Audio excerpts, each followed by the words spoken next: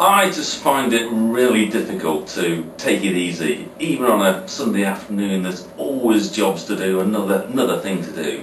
So now when I say to my wife, oh, I think I'm going to take thing, things easy, she said to me, you are allowed to relax, you know.